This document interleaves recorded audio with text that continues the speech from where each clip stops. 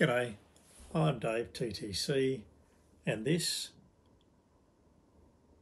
is not Dave's Cave.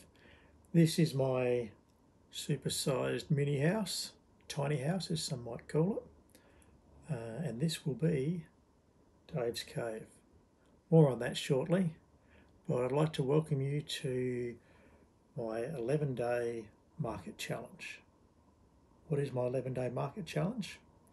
A friend and myself are going to have a store at a market together, and that is in about 11 days from now. Well, I've got 11 days asleep and then the market.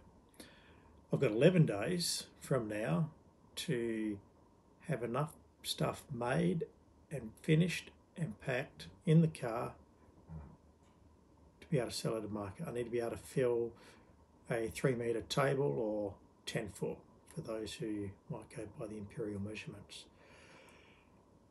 I live currently in this tiny home, which I'll just take you for a brief tour. My lounge room. Follow me to the kitchen.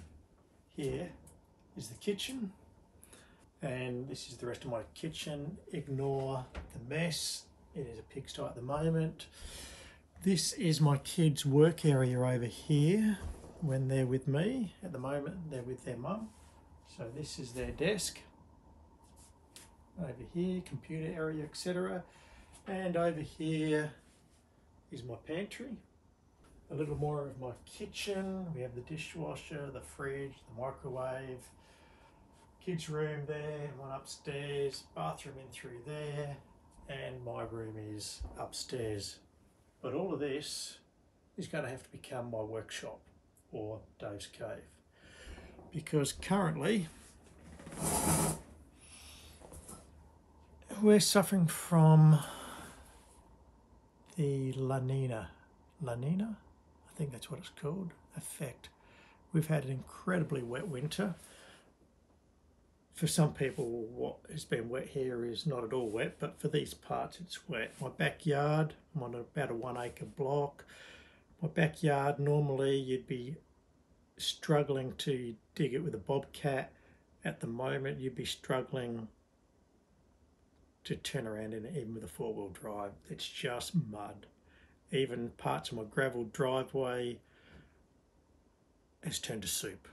It's a bit wet out there. I've got water has been flowing through my shed, out the PA door or the personal access door. The main house that's under renovations has been in that condition for some years. Uh, so I have to get around to that. Uh, so at the moment, I can't even work outside. So I've got to do something. I've got to work in here.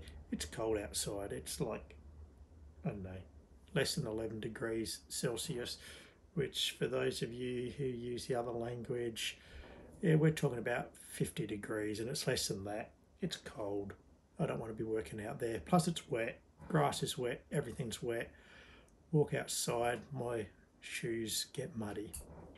So this is going to be my workshop. My kids are going to their mum and I've got two weeks, a bit less than that, 10, 11 days, home alone to convert this into a workshop so I can make stuff that can be sold at a market, timber goods. So if you have some ideas of things I can make, I'd love you to drop it down in the comments below. Uh, one of my little things will be these leg trays. They're quite handy, especially if you've got your own chooks and you don't have the cardboard boxes. Uh, this one's for 12, the other one's for 6. And it's good, I can just pull it out the fridge, put it on the bench, and my eggs don't roll away, and then chuck it back in the fridge again afterwards. One of the other things I might make is one of those stands, you know, the ones where it's at about a 45 degree angle, you stick a wine bottle in it and it just holds itself up, it just balances on the table. Probably make some of them. The other one where you stick it over the top of a wine bottle and you have a wine glass in each end. Probably make some of them. Make some puzzles, maybe some games. If you've got any other ideas, love to hear them. like some stuff that is fairly quick and simple to make and easy to finish. Uh, most of this stuff will just be getting some kind of oil finish. But my first challenge is to, one, make some space. So we've got to get rid of the lounges, get rid of the monitors over here, get rid of the extra chairs. And the next one is dust containment. So my 11 day challenge is to build a workshop inside, relatively dust proof it, and then come up with another a number of individual items like my egg trays in bulk so that I can fill the table and sell at the show. Day one, which starts first thing in the morning, is going to be bring in the tools, no, empty the place, dust proof the place, or at least make it dust resistant and start bringing in the tools.